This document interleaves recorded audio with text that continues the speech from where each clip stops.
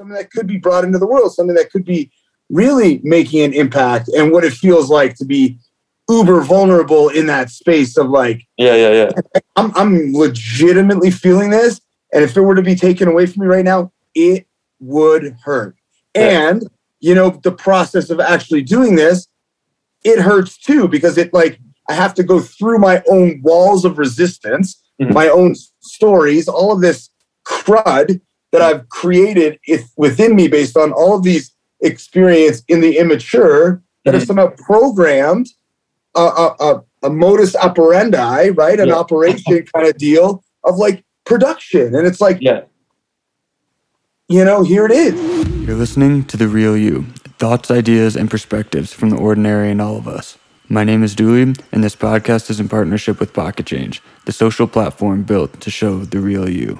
And then coming in Treating you, which was partway through college, I think was a step of um, clarity around all that. So starting to not just be a wanderer and a dreamer in my mind, but start to kind of put a little bit more tangible um, feelings and things that were coming up in my head into practices, um, whether that be through taking yoga a bit more seriously or even for the first time actually discovering meditation um, and those are almost two basic ones. I think coming actually into more of just how I view my own spiritual self in the world and what it means to bring my energy forward into things, how to have self awareness around my own, what's draining me, and what sort of light I'm bringing forward. Um, mm. All those things I think started to become a lot more clear. Um, and not not that they became answered. It's more of they became clear that they were something I was and still am in an ongoing discovery. Yeah, yeah, and I, that's fascinating, right? So the first step is the clarity that it's unclear. Yeah, and yeah, yeah, yeah. and and, and accepting the muddiness of the journey mm. uh, around discovering kind of what our real power feels like, what our um, what our real impact um, may look like. Um, rec- recognizing that it uh, doesn't look or or no no two journeys are the same. Yeah. No no no two impacts are necessarily the same. Yeah, yeah, yeah. And you know we we we we grow up in in um, a form of academia and socialization where we're kind of given all these different little benchmarks mm-hmm.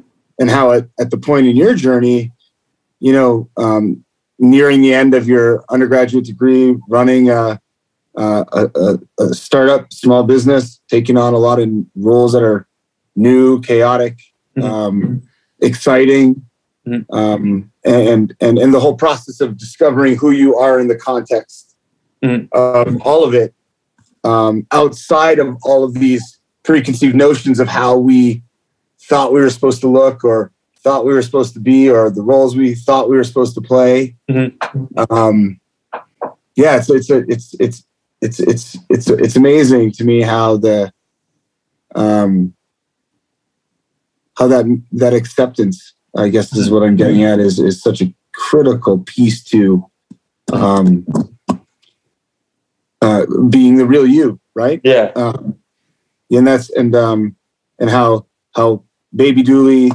the musician and and and and christian dooley the business person and um you know Christian Dooley, the student and the the son and the the the, the partner to now the um, chef. You know, Don't forget the chef. The chef too. Yeah, but how all of these different pieces are are so much apart and can can support the whole of you. Yeah, yeah, yeah.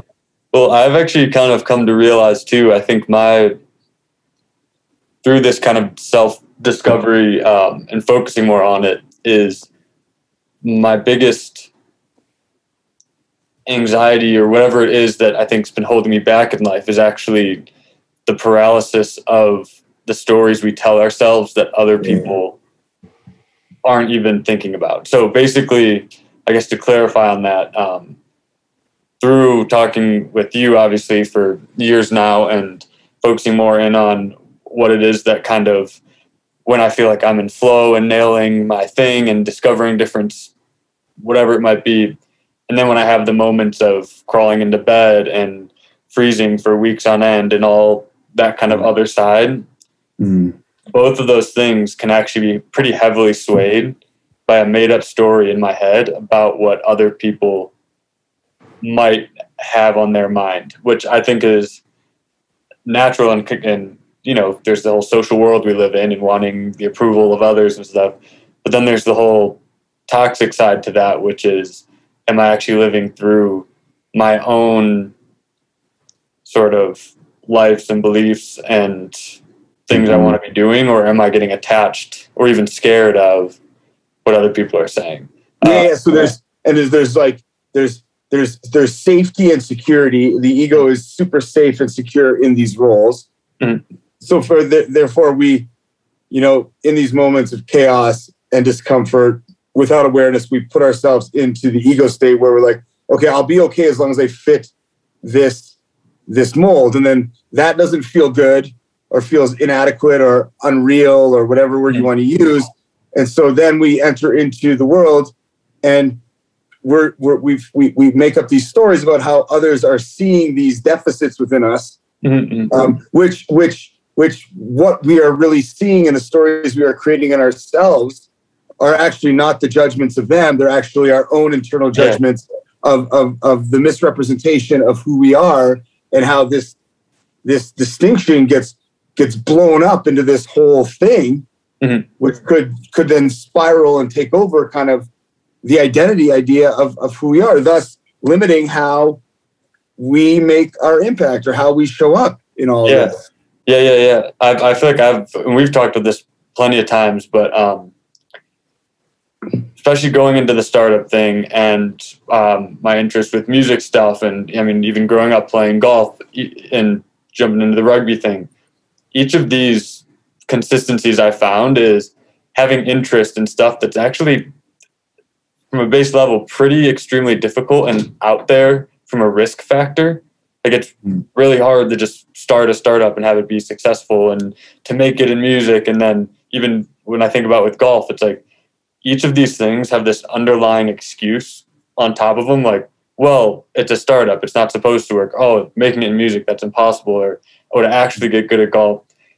And so I've come into recognizing this sort of trend where I feel actually most comfortable where a lot of people feel uncomfortable mm. under the excuse factor but also now realizing too that like my own my own discomfort is actually owning up to them. So it's not it's not in mm. being in an uncomfortable spot like crazy doing music stuff and sharing my vulnerable thoughts and all those things. Like i've become normalized with those. But i think what i'm most proud of over this past month is that acceptance factor of wait a sec, I do truly love music and want to be able to create and share stuff and go perform. And it's no longer this, oh no, it's just like a side joke thing. It's like, no, no, I really love doing that and I'm going to focus on it. The same mm-hmm. way with the startup, it's it's no longer this, oh, we're in college and it's a startup and we're working hard on it, but it might fail. It's no, I'm actually working. What does it mean? What does it mean for you to love those things? How does that love show up in the context of the navigation of this process of chaos and discomfort? I come back to the what's draining of my energy and what's giving of my energy. Mm-hmm. And when I love things, it's giving of my energy. It's sort of how I would mm-hmm. describe it. So mm-hmm. that also comes in, in it ebbs and flows. So say with the whole startup mm-hmm. stuff doing this pocket change thing, it, mm-hmm. I would say like I love pocket change and I love working on it. That does not mean I want to do it all day, every day. And that does not mean I will want to do any single part of it. It means that, say, for example, in having these kind of conversations or leaning into this um, next step with our direction around how do we bring out a more vulnerable, real self, you know, into the social um, social media realm or sharing realm or whatever it might be. That to me is again reigniting the feeding of my energy or the love for pocket change, which is what I actually love isn't some brand that I'm associated to. It's the feeling that with communicating with other people, you can bring forward new ideas, inspirations, talk mm-hmm. about the collective pain of mm-hmm. whatever the human experience is, and we're all going through it in different ways. But having mm-hmm. that like true self, um, I mm-hmm. guess I don't even know exactly what your question was, but yeah. So I mean, I, I, I just I, what I was appreciating was was the emphasis on the word love and the idea that I love this and I love that. And what I was what I was interested in is whether this was a, a mental construct of like something that you love the idea of something and you love the idea of the impact something's going to make or is it something that that that you physically feel in your heart space Mhm. and and i think in in in in, in our world like you know i referenced growing up in education all these different things is we've been taught real hard to to think about what we love right Mhm. and we have not been taught how to feel Mhm. love Do you know? how to feel our own heart, how to feel our connection. You know, not to mention, not to mention two dudes sitting on a on a on a on a call, two heterosexual dudes sitting on a call talking about love and connection and connecting to what we really feel, right? yeah, yeah, yeah. And, and, and you and I have talked about this for the past few years on and off as it relates like tapping into that space and Mhm. the practices that bring you into that space.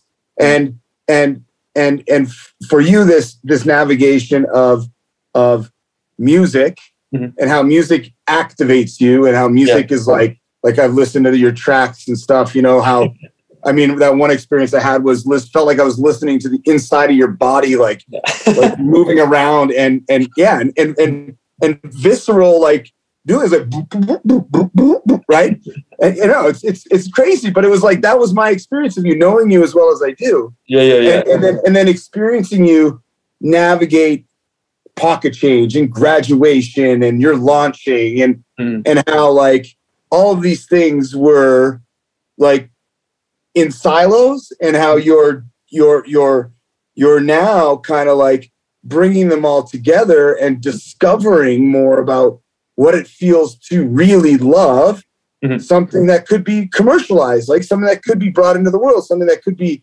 really making an impact and what it feels like to be uber vulnerable in that space of like yeah, yeah, yeah. I'm I'm legitimately feeling this, and if it were to be taken away from me right now, it would hurt.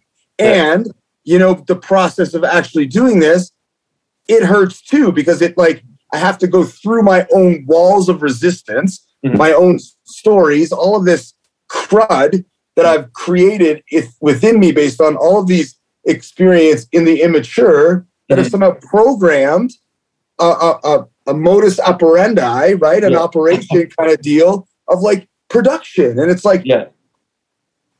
you know, here it is. Yeah, yeah, And, yeah, um, yeah.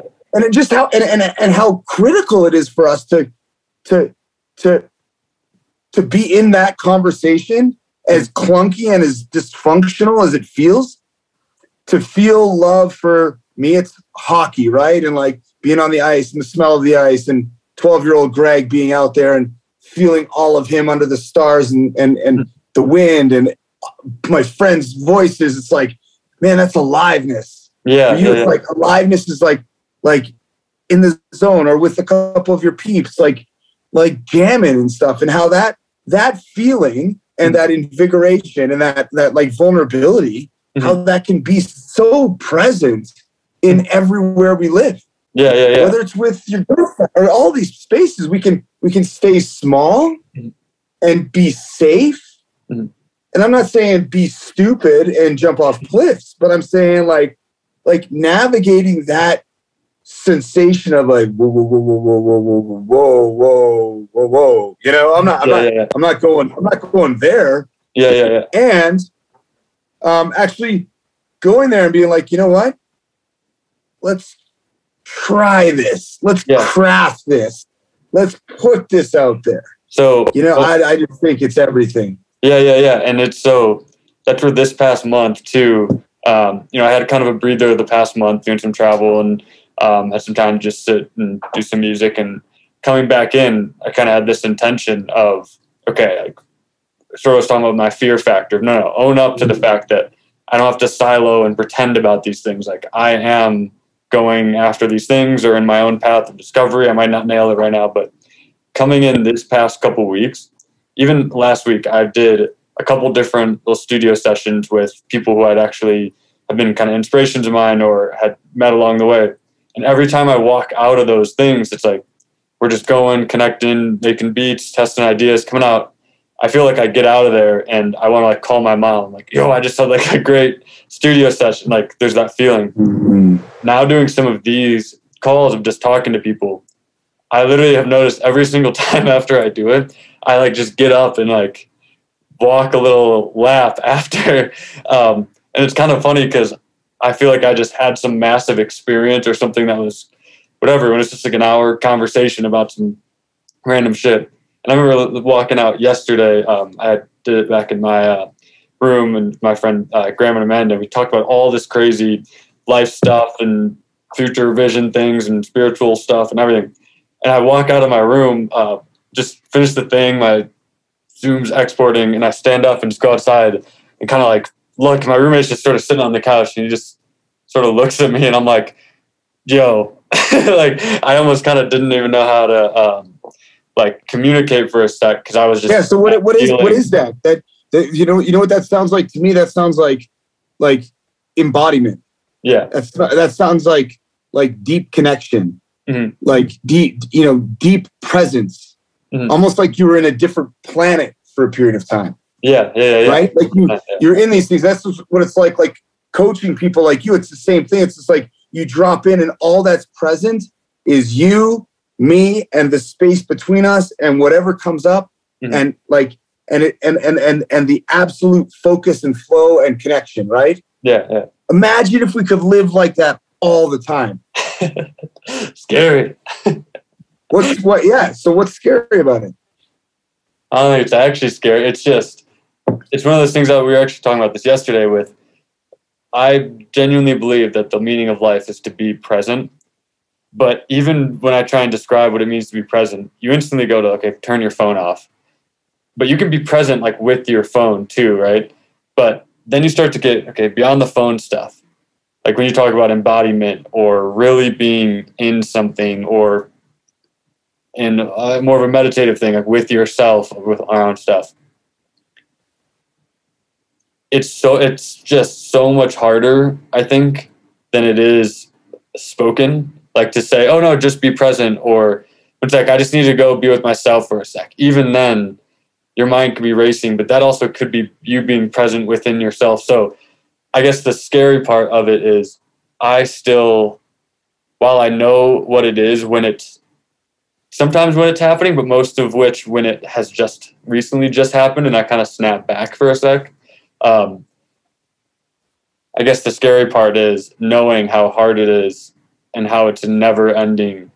There's no like enlightenment. There's no, oh no, you got it now. It's it's a constant moment to moment moment throughout your entire life battle. And I think I guess that's the scary part. Um, So how do you? So how do you support that space for yourself? well, I mean- Well, no, but I mean, I- I'll tell you how you know Yeah. I how I support myself in that space. It's it's it's consistent exercise and connection to my body. Yeah. It's a certain amount of cardiovascular activity, weight training, cardiovascular. It's meditation. Mhm. It's um, jour- journaling. Mhm. It's um, it's time in nature. Mhm. Um, time on the ice. Mhm. Um, listening to music. Mhm. Um, but but what what I what I'm what I'm what I'm trying to emphasize here is the what realization I had was was the importance to building practices that support presence. Mhm. Yeah, And presence is kind of an inherent way of showing up if you are um for me if if if I'm if I'm grounded in my practices yeah, yeah, yeah. as an athlete, I started out by playing hockey all the time, and and you know everything was about sports. Mhm. And so now I've shifted and said, okay, how do I how do I take this notion of practicing, which is deeply ingrained in my body, and and develop the right life practices that allow me to show up for those I love, the things I love, um, and anything I so choose to put my intentions on. Yeah, it's it's actually interesting. I don't know if this just clicked, but the idea that you go and you practice hockey, right? Mm-hmm. So go and you work on stuff and all that, and it's also in that moment you're also being present with yourself and on the ice and you know with your team. But what you're also doing is you're ingraining it into your body and mind and movement and flow that when you're actually in the game time, you're not sitting there thinking about, oh, am I putting enough flex on the curve when I shoot? It's like you're just in it. And when you actually apply that to essentially the fact that our whole life is this never ending hockey game, it's like all you can kind of do is practice, be comfortable with the presence of messing up, and then have your moments of shine, which would be the game time. Yeah. so point you're just also present, and if you let go of results, all all of a sudden you're winning all the time. this is everything. This is everything. So you you you practice yeah. to show up and be present. So you can let go of the stories mm. and allow yourself to be in the moment and do as you're intended to do yeah that's it versus trying to control it i got this great yeah. quote in front of me here it is right here just so you know i'm reading something but it says master your instrument master the music then forget that bullshit forget all that bullshit and just play. Okay, read it one more time. Read it one more time. Master your instrument, mm. master the music, mm. and then forget all that bullshit and just play. Yeah, yeah, yeah, yeah, yeah, yeah. All the bullshit is that's like the paralyzing fear that I'm I'm talking about too. Is at this point I I know I can do my thing. I I'm comfortable and confident within my own self, I'm just still stuck with the little bit of bullshit that hangs around me and I let it like grasp me, which is I think now the practice and even with doing these things is the practice of just there's nothing I can do about those stories or those pretend thoughts that I might think people are thinking about me. But mm-hmm. so and it's the presence, the, the the the play in this, like just play is just be present. Yeah, yeah, yeah, yeah. And then that just play, you know, that that is that that presence that is the space within us that is like like remember those moments when you're you're a young child and you're just all you did was play and do and mm-hmm. You know you didn't you didn't have a story you just had the next thing and you just kind of did yeah well what i've concluded or come to is that that is the space we're returning to in deep presence mm-hmm. we're actually accessing the, the the childlike energy the innocence the grace, the joy, all of those pieces within the deepest aspects of us that are are are our soul, are yeah. the are the parts of us that are unwavering, totally there, mm-hmm. and we're bringing those out in and and accessing them in our adulthood. Yeah, and actually able to create, to continue to create and live youthfully and live um, spontaneously and cu- with curiosity and playfulness from this from this space. Yeah, yeah, yeah, yeah. It's crazy. I actually think about um I was thinking about asking you this kind of question like where do you feel most at peace? Um and what comes to my mind is actually flashback into South Haven, Michigan, which is where we go every summer with uh, my family and stuff and my cousins and all that. But part of our kind of tradition was we'd all go to the beach and essentially it's us playing in the sand doing the stuff but my favorite time was when we'd get there or whatever and one day there'd be a storm happening because it meant the next day um, there would be the riptide of the waves which is kind of dangerous but my parents would be so freaked out about it that i always had to stay kind of shallow but my favorite and most peaceful moment and memory is actually in just the raw going in doing our big sand, like just trying to dig a dig, dig a big hole, and then going into the um, the lake. And while it's having the riptide, literally doing this like frog jump motion as the wave would like tumble you over, and you'd get mm. back up, and it's just this feeling of being like a water swamp monster in the riptide of the wave. And it's strange because some people go to, oh, I like to, you know, sit by the river or the sunset. Um, mm-hmm. But my mm-hmm. most peaceful is literally is playing around and pretending to be a swamp monster in a dangerous riptide, but still close enough to shore that I'm kind of okay. so I don't know why yeah, I yeah, so that as much as it, in, in, incredible my play and that's my peace. Incredible metaphor, right? It's just like so you want to play in the jungle, in the in the wilderness, in the in the unknown, in the chaos, mm-hmm. but you just want to be you want to be close enough to shore to feel safe. Yeah. Right. And I wonder for you if your if your growth is to continue to distance yourself from shore. Yeah. right? Move move further away and have the the, the confidence in the deepest aspects of you mm. that you're going to be okay. Yeah. Yeah, yeah, yeah, yeah. And also to remain with the uh like you said without the recklessness of just go jump off a cliff, you know, it's totally, still remain totally. still remain like you, you're still in play mode, like don't get into desperate swim mode, you know, be responsible, but um yeah, that that but it begs the question though, right? Yeah. It begs the question about like where is responsibility? Yeah. And like the the cognitive self around risk and reward. Yeah.